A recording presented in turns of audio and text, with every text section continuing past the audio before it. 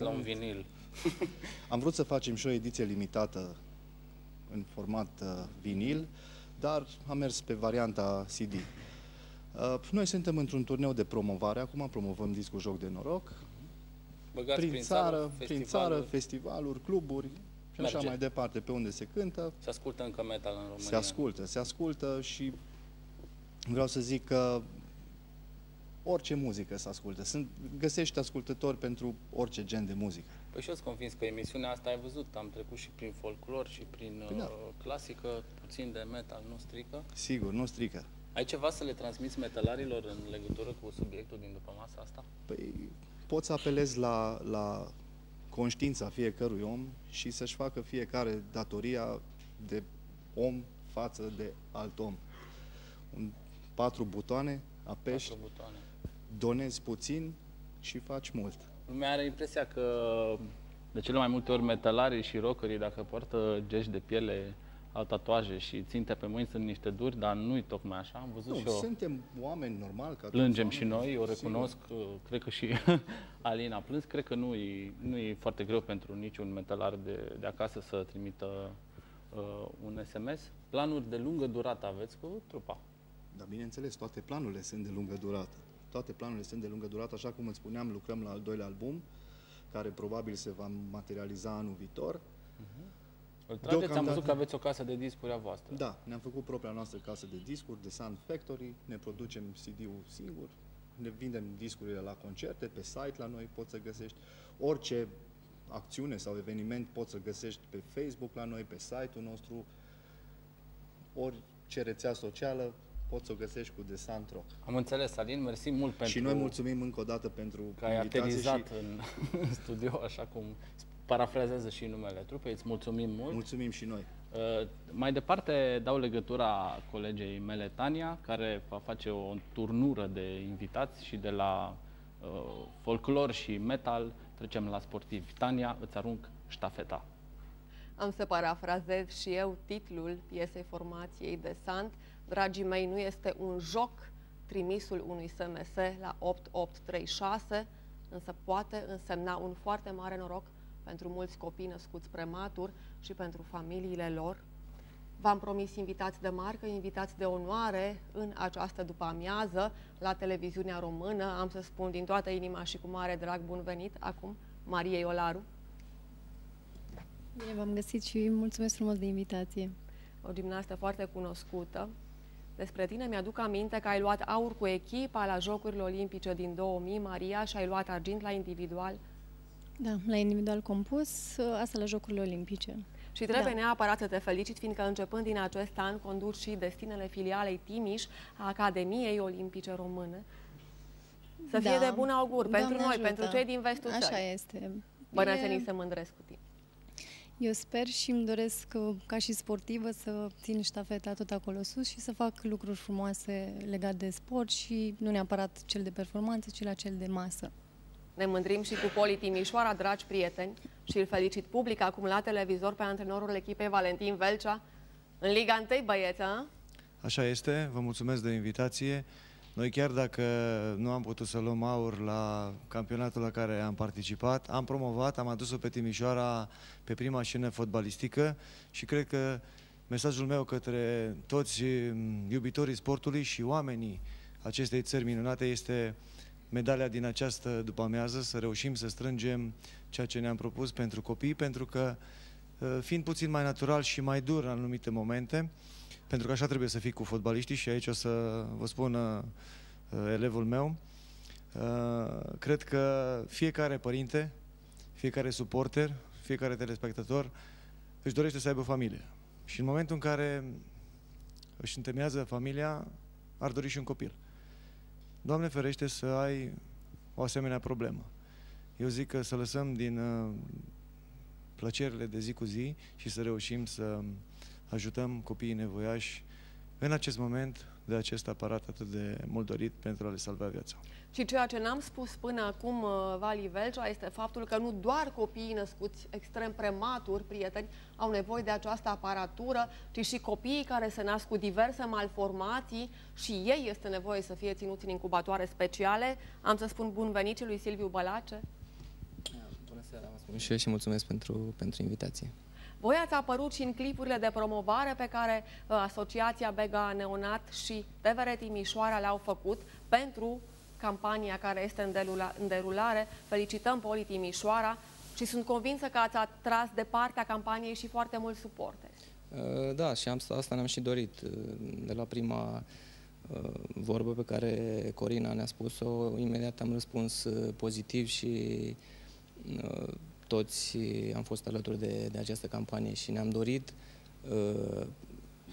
ca și noi în vestiar toți să, să punem, să strângem așa o sumă de, de bani și să reușim să îndeplinim acest obiectiv al... Da, voi chiar ați pus bani mânuță de la mânuță. Exact și chiar uh, pe această cale vreau să rog toți suporterii și uh, toți iubitorii fotbalului să, să doneze cât de puțin, cât puțin, puțin, cu puțin, cu puțin se, se vor aduna și uh, acești oameni minunați, în persoana domnilor doctori care uh, salvează vieți, ca să spun așa, vor reuși să, să obțină acea, acea aparatură ajutătoare pentru, pentru copiii noștri. Pentru că și copilul meu s-a născut uh, tot la maternitatea Bega și uh, acești oameni sunt extraordinari pentru noi. Da, și copilul meu s-a născut la maternitatea Bega, de aceea am o legătură specială cu ei și mi-aș dori foarte mult, uh, dragi prieteni, ca în această seară, v-am spus, dacă am adunat bănuți pentru un singur ventilator. Un singur ventilator în plus, pe lângă cele două existente, înseamnă salvarea vieții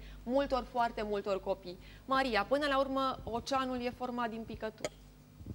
Așa este și eu îmi doresc tare mult să se întâmple acest lucru, mai ales, de ce nu, și pentru viitorul copiilor noștri, pentru că eu cred, uh, din ce văd, sunt singura care nu, am, nu posed așa ceva, însă îmi doresc foarte mult. Am avut și am uh, cunoștințe, colegi chiar care s-au lovit de această problemă și tocmai de aceea nu am cum să fiu insensibilă și sper ca și telespectatorii să fie sensibili, solidari și să ducem la bun sfârșit uh, această campanie și de ce nu să se materializeze în primul rând. Implicarea, draga mea, este și ea o caracteristică a olimpismului care te caracterizează într tot. Categoric. Și Doamne ajută ca astăzi uh, să se întâmple o minune și cei de acasă să fie sensibili și de ce nu să convingă și să determine și alți oameni să o facă. Vali Velcea, înțeleg faptul că Poli Timișoara este o echipă care nu se bate doar pentru titluri și pentru a ne bucura prin titlurile pe care le va lua, ci este și o echipă profund implicată în viața comunității în care trăiești. Este pentru că sportul, din punctul meu de vedere, este o mișcare de masă, o mișcare de masă socială, atrage oameni. Este adevărat că la mijloc stă jocul nostru pe care îl practicăm și cu cât este mai frumos și mai spectaculos, cu foarte multe goluri, eu cred că lumea își îndreaptă atenția cât mai mult spre stadion și spre acest sport minunat. Chiar dacă în această perioadă trebuie să recunoaștem, părerile sunt împărțite ale suporterilor timișoreni. Nici măcar sunt... nu mai contează, suntem cu toții timișoreni. Asta vreau să spun Vali. acum. Exact. Pentru că nu contează și nu contează câte echipe sunt în Timișoara, Poli este numai una, iar campania dumneavoastră este susținută de o singură echipă, Poli Timișoara. Ecuația e simplă din punctul meu de vedere, un singur mesaj. 30.000 de oameni, ori 2 euro, la 8836, cred că s-a rezolvat jumătate din problemă. Vă mulțumesc tare mult pentru prezența în emisiune, dragi prieteni. Voi reveni la 8836, adică la Ovidiu Mihăiț.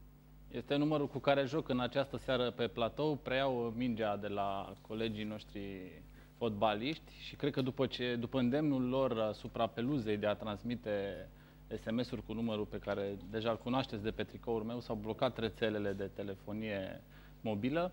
Sărim uh, de la, de la sport, sărim din nou la muzică.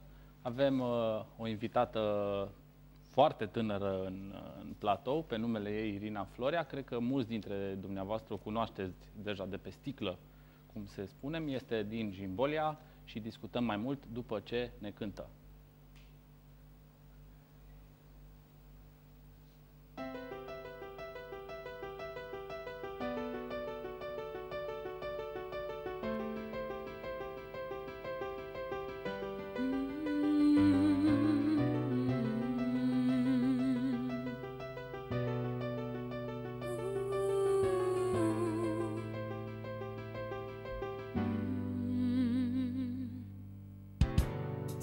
People live for the fortune. Some people live just for the fame. Some people live for the power. Some people live just to play the game. Some people think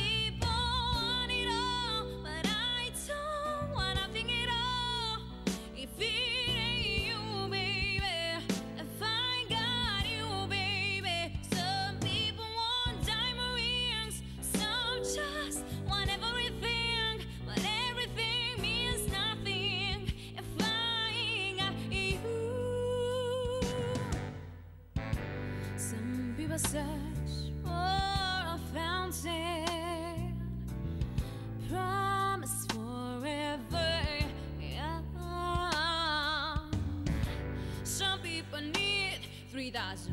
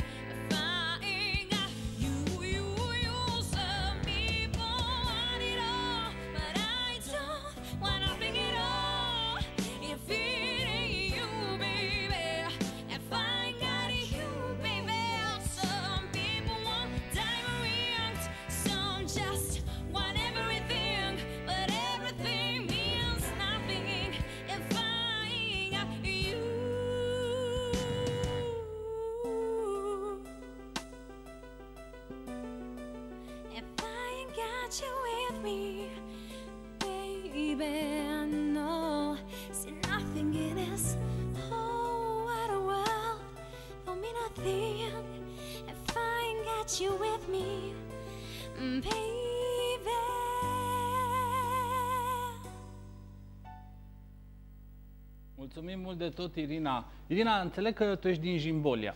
Da. Ce populație este în Jimbolia, știi să ne spui? În Jimbolia de este... mulți jimbolezi populează Uh, da, da, da. În străzile? Jimbolia sunt în jur de 10-12 mii de oameni.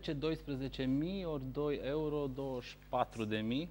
Te-aș ruga, așa cum uh, metalarii au apelat la metalari, cum sportivii au apelat la fani, cum uh, folclorul a apelat la, toți, la toate transhumanțele posibile din țară, să apelezi și tu la toți uh, jimbolienii sau jimbolezii, cum se spune corect. Cred că ești un model și cred că te știe lumea pe stradă și te salută. Transmite-le ceva, te rog, celor din Jimbolia. Da, vreau să-i salut și să-i rog frumos uh, să, să dea un SMS la 8836. Sper ca prezența mea să-i determine să ia telefonul și să trimită un SMS pentru binele acestor copii. Mulțumim mult, sperăm ca mesajul tău să fie recepționat și pus în practică. Uh, Dacă cei din uh, Jimbolia nu au fost uh, atenți până acum, uh, reiterez mesajul pe care îl port cu mândrie pe piept.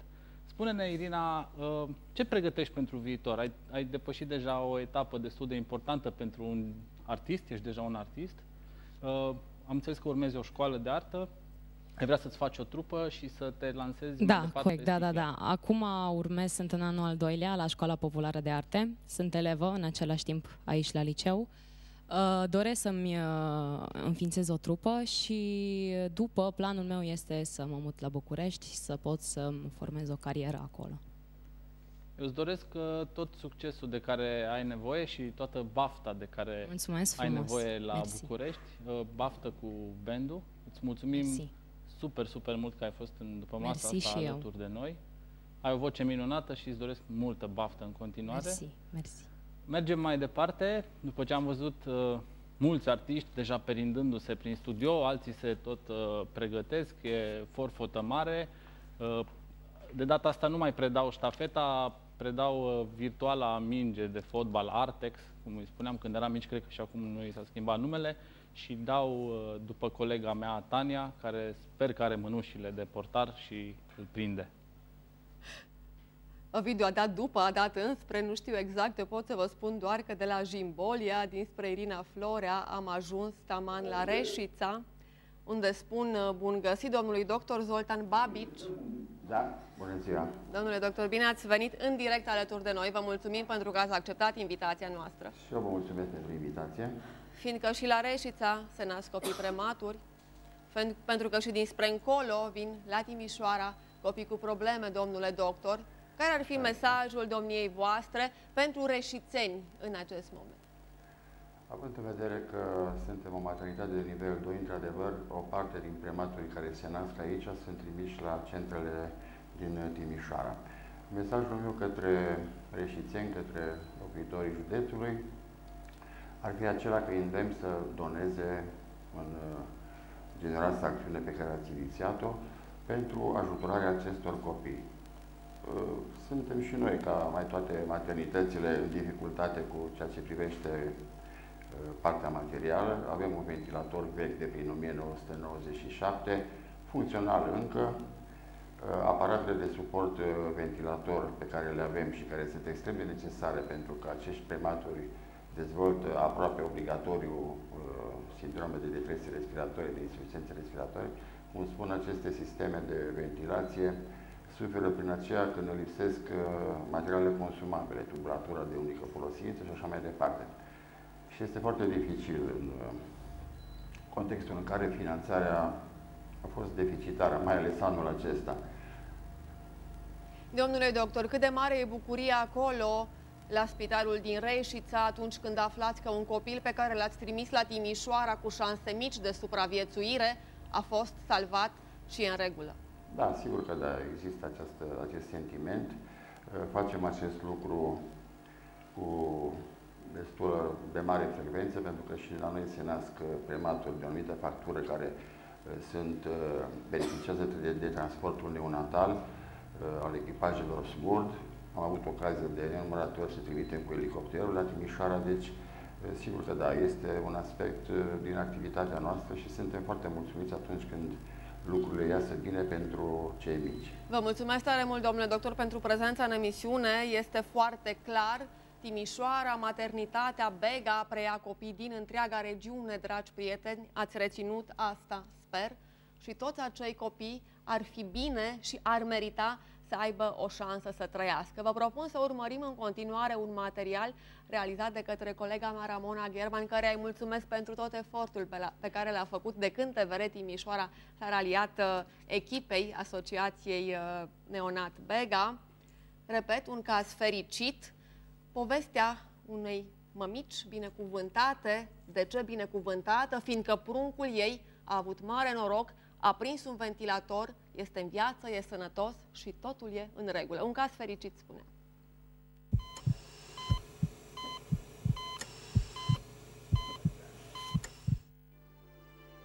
Când micuțul Adrianei a venit pe lume, medicii au explicat care sunt pericolele. I-au mai spus și că ventilatoarele cu ajutorul cărora bebelușul ei trebuie să respire sunt mereu ocupate. Atunci când s-a născut, nu mi s-a dat nicio șansă că o să trăiască, fiind și cu capul în jos. uh, Probabil s-a chinuit să respire, avea capul foarte umflat și nu i s-a dat nicio șansă să trăiască la micuți. M-am rugat la Dumnezeu, au fost niște clipe de coșmar, nu alta. N-a fost zi și noapte în care să nu plâng pentru el. S-a născut micuț, un kilogram 100. Dacă nu era ventilatorul acela, cred că, nu știu, îl pierdeam.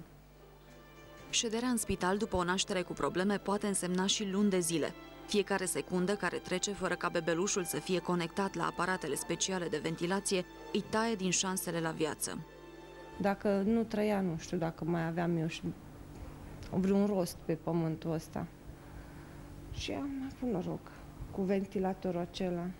Dacă ar fi mai multe, să aibă mai multe mămici, noroc cu acesta, nu știu, probabil ar fi multe mămici bucuroase ca mine.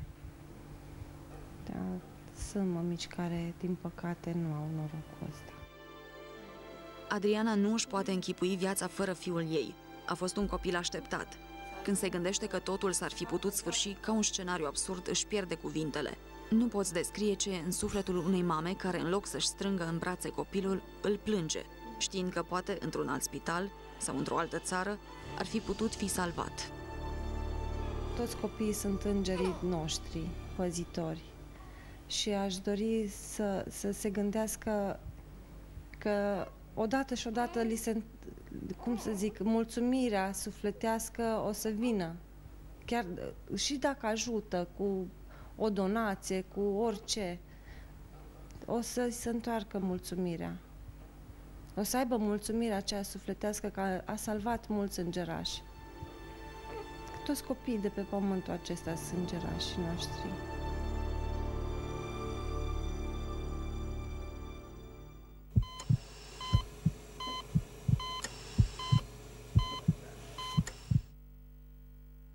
Am să vă spun, dragi prieteni, că în urmă cu vreo 70 de ani, copiii prematuri care se nășteau între 22 și 28 de săptămâni mureau în proporție de 95%. Azi, datorită dotării cu aparatură de înaltă performanță, sunt salvați 95%, puține sunt din fericire cazurile pe care le pierdem. Un caz fericit ați văzut în reportajul anterior, un alt caz fericit vă vom prezenta live, fiindcă ne este alături Meda Negrilă împreună cu Patrick, băiețelul ei. Meda, bine ai venit! Bine v-am găsit! Patrick, bine ai venit! Ne vezi, ne auzi, dar deocamdată nu reacționezi. Doamna doctor Ileana Enătescu, medic primar neonatolog. Bine, bine v-am ați găsit. venit, doamnă doctor. Bine v-am găsit. Lupta pentru viața lui Patrick a fost una dintre acelea dramatice. Copilul s-a născut la 1000 de grame, după 1100. știința mea, Meda. 1139 de centimetri și la 28 de săptămâni, adică 6 luni fără 3 zile. Și ai stat în, a stat în ventilator cât ani? Uh, Două luni. Două luni. Cu alte cuvinte, Aproximativ. două, aproximativ două Da. luni, un ventilator, prieteni dragi, a fost ocupat de către Patrick și bine a fost că s-a întâmplat așa, fiindcă Patrick acum e complet în regulă, doamnă doctor. Da, din fericire. Uh, Patrick a fost unul dintre prematurii care a dezvoltat o boală pulmonară cronică, fiind reintubat de 5 ori. Deci uh, un ventilator a fost uh, al lui Patrick timp de două luni. Dacă nu aveam ventilatorul la dispoziție în, uh, pentru ultima intubare, cele cinci intubări anterioare ar fi fost adarnice. Este foarte cumplit să fii uh, în terapie intensivă și părinții să stea afară.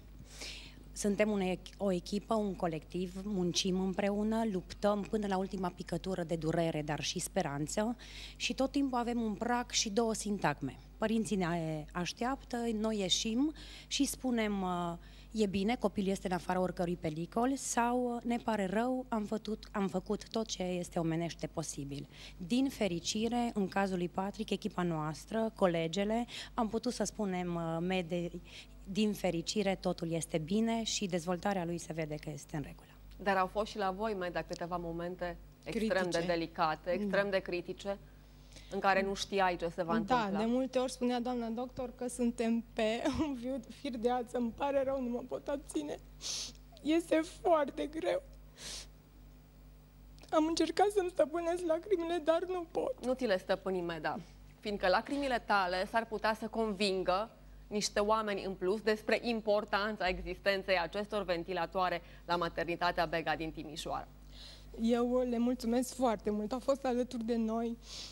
Doamna doctor, i-am, spus, i-am promis că nu fac să plângă, dar nu știu dacă pot. A fost alături de noi, chiar pot să spun zi și noapte. Venea sâmbătă, venea duminica și între colectivul ne-a ajutat foarte mult. Uh, Mi-au dat orice informație am cerut. Uh, Au fost alături de mine, m-au încurajat. De multe ori îmi dădea doamna doctor încredere, deși Patrick, uitați-l că l-am văzut. E chiar acum, da. Patrick, în zilele imediat de după naștere, sunt niște fotografii Wow, ce simțământ După dacă ce- ne vezi? Când îl ții pe Patrick în brațe acum, e tot Nu. în regulă, e sănătos și te uiți la acele fotografii, în vremea în care sufletul tău era cât un purice, Da, nu pot să cred și nici acum, dacă dau timpul înapoi, a trecut un an de zile și nu realizez nici acum ce greutate am avut de trecut. A fost crunt, dar mulțumim lui Dumnezeu și lor, tuturor. Au fost Doamnelor, alături de suntem noi. trei mame aici în platou, avem voie să plângem pe rând sau toate trei la oaltă, nu-i niciun fel de baie, emoțiile sunt foarte mari și eu mă bucur atât de tare că l-ai adus pe Patrick aici, îți mulțumesc din suflet, mai dacă ai venit cu el, dragi prieteni, a Și fost noi foarte cu mulțumim. minte, a stat a stat uh, în spatele platoului, a fost cu mințele, am auzit doar de vreo două ori gurița. Doamnă doctor Rănătescu, voi cei de la terapie intensivă sunteți eroi care vă zbateți de fapt pentru acești copii, pentru ca acești copii, copii să poată fi în brațele mamelor lor. Nu știu dacă eroi, dar noi încercăm. Acesta este jurământul pe care l-am depus. Este lupta noastră interioară pe care o facem cu bucurie, pentru că, din fericire, noi, ca și specialitate de neonatologie, suntem singura specialitate, împreună cu colegii noștri obstetricieni, care zilnic auzim de mai multe ori țipătul vieții, care este foarte important să fie un țipăt cu final fericit. Și care vă dă vouă, probabil, dumneavoastră, curaj de a merge mai departe și de a vă lupta pentru fiecare viață atunci când e nevoie. Da, luptăm, ne sprijinim ca și echipă, colaborăm și luptăm cu toată forța noastră și cu toată puterea noastră. Doamne doctor, există două ventilatoare, repet povestea pentru prietenii noștri, al treilea copil nu poate fi evident introdus fiind doar două ventilatoare. Ce faceți cu al treilea copil? Am înțeles că mai există metode alternative, evident nesigure și foarte greu de pus în practică, dar există totuși acea ventilație manuală Da, cu balon, cum o numiți voi? În urmă cu câteva luni, într-o zi de duminică, când eram de gardă, personal am trecut prin această experiență. Erau cele două ventilatoare ocupate și s-a mai născut un prematur de 26 de săptămâni. Am sunat colegele mele de terapie intensivă, am venit de acasă și rezidenții au fost cei care ne-au ajutat, că am menționat, suntem o echipă și prin rotare, pentru că este greu să balonezi cu număr exact de frecvență, cu volumul pe care trebuie să-l introduci într-un copil de 800 de grame, uh, timp de 4 ore până când colegii noștri de la prematur ne-au anunțat că s-a eliberat un ventilator și am trimis copilul intubat la cealaltă clinică.